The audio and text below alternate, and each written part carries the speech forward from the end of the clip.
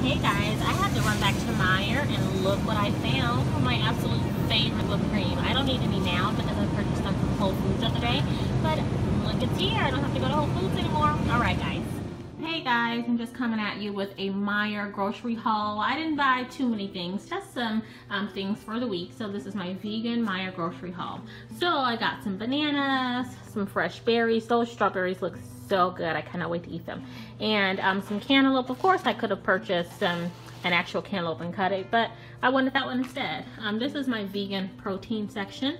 So I have some of the Smart Dogs. I accidentally got rid of the ones that I had in the fridge. I'm always purging the fridge and um, so I had to repurchase them. This is something that I had not seen. It's jackfruit and I got the barbecue um, flavor. So I'm gonna actually cook this for, I guess a late lunch or an early dinner for my husband um, and I today. And so 90 calories per serving, soy-free, gluten-free, vegan. So barbecue jackfruit, doesn't that look delicious, you guys? So let me show you the ingredients. I know you're gonna wanna know what that is. So those are the ingredients. Not too bad, right? Not too bad at all. And there's the nutrition information. And here's the, the back of it if you want to read that. So check your Meijer or your grocery store out and see if they don't have those. I'll come in and do a review um, of that. Um, then I got some of the vegan uh, roast uh, sausages.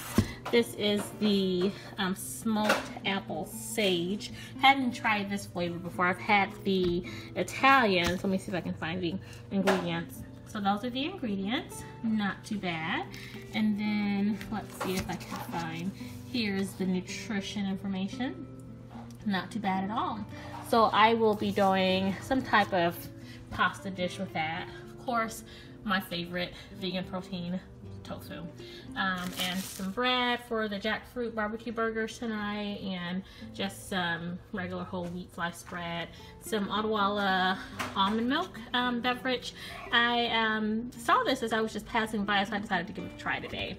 And some of the um, water flavors, uh, water flavors, told you my husband likes to do that, um, use those in his water since that's really all we drink here. So I got variety for him, um, some frozen peas, rice cauliflower, some coleslaw. I'm just gonna make a nice uh, creamy slaw with our um, mini barbecue today. And then some mangoes. They're not yet ripe, but I can't wait to dig into those once they are. So this is my grocery haul from Meijer. Nothing too big. Um, so I'm gonna go down and put this stuff up and then start preparing our food. All right, you guys, comment below and let me know what you wanna try. Have a wonderful day. Bye-bye.